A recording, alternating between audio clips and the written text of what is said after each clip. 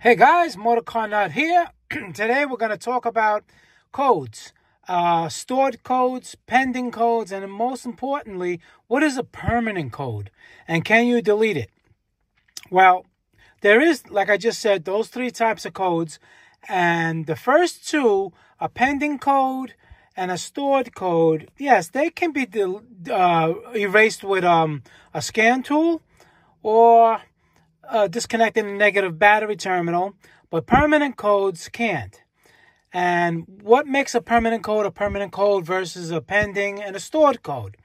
Well, a stored code, um, if you clear it, then the monitors on the car have to reset. The computer has to check the evap system. It has to check um, the uh, O2 system. It has to check anything that has to do with emissions. Okay and that sometimes that can take a couple days to drive the car around. So if you're trying to pass inspection and you have a check engine light on, deleting it, uh, the, you know, deleting the codes is not going to do anything. All right, because the car will still fail because the monitors are not ready. Certain states allow only one monitor to be ready. Certain certain states allow none. Certain states allow two, and it depends on the model year of the vehicle as well. Okay, so let's get back to the permanent code. A permanent code, let's say you have an O2 code, O2 sensor code, and it's not fixed, and you keep clearing it or you just don't fix it. The computer is going to keep it in, first it's going to be pending, then it's going to be stored. That's going to put your check engine light on. Okay, and then uh, it's going to be a permanent code. Now, the, the, the, um, the time it takes to become a store code and a permanent code, again, relies on the vehicle. Depends on the vehicle, year, make, and model. But um, you have to fix the permanent code, stored code first. Now, let's say if it's an O2 code, right? You have to, let's say if the O2 sensor was bad.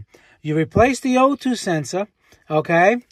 You delete the code, okay, from the stored memory, and you start the car, and now in the pending status, there's no O2 sensor code.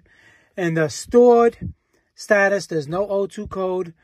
But in the permanent, there's still an O2 code. That's okay. The check engine light is going to be off because the problem is fixed. So now you think, okay, let me just get a scan tool and delete that permanent code. You can't. That is into the um, computer. The computer itself has to run its checks and go, okay, O2 sensor, let's check it. Okay, it's good. Okay, let's make sure that it does it maybe one cycle or two cycles whenever it checks it, and it can it can matter on a whole bunch of different criterias of each individual make of when the code is gonna the computer is gonna decide to clear that code. Okay, so let's say after two cycles it clears it, it's gonna be cleared from the memory of the permanent memory. So but that doesn't mean, let's say if that code wasn't fixed, that permanent code is still going to be there. And, and if there are a couple of cycles, it may come from permanent to stored. And stored is going to throw the light on. All right, I don't want to show you on a high-end scan tool because you may not have that feature. Let me just try this again. In diagnostic. Now watch, it's going to show you codes. Erase data, you hit no.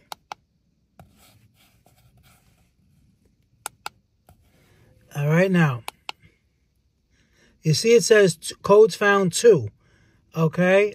And then status, the light is off. Those two codes are permanent codes. They were old codes. Actually, one of them was for a catalytic converter efficiency, and the other one was an O2 that I both I fixed both of them.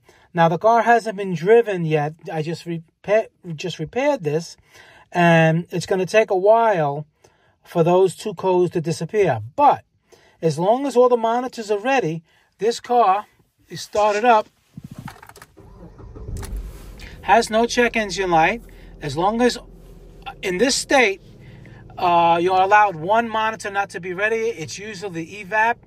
It takes the longest because it has a lot of different parameters uh, you can get the car inspected. The car is going to be fine. Even though it had those two permanent stored codes, that's fine. Car will still pass inspection because of what I told you before. A pending code, still, even if it's just pending yet, it's not going to throw the light on. That'll still pass inspection. A stored code, no. Stored code is going to throw the light and you just have to get it fixed. A pending code, you still have to get it fixed too. But let's say you want to fix it right after you, you know, have it pass inspection. As long as that stored, that pending code don't turn to stored, you can get the car inspected. All right, so this car, as it sits right now, has no pending codes, no stored codes. It just has those permanent codes from the failures before that were fixed. And now the computer itself, after a couple a couple hours, a couple of days, it all depends. The the computers, the car's computer is going to check those codes again, and then automatically delete them permanently. Okay, so hopefully that clears it up. Um, I tried to explain it as easy as possible, simple as possible. Uh, it can be kind of confusing to people that don't really know. And so, just to recap, you have three types of different codes. You have stored code, throwing the engine light on, have to fix it. Have to fix them anyway. It doesn't matter. Then you have a pending code that doesn't throw the light yet, but it will uh, eventually. And a permanent code that will throw the light on if you don't fix it. But if you fix it and it still has a permanent code, you're good to go because the computer will automatically erase them eventually.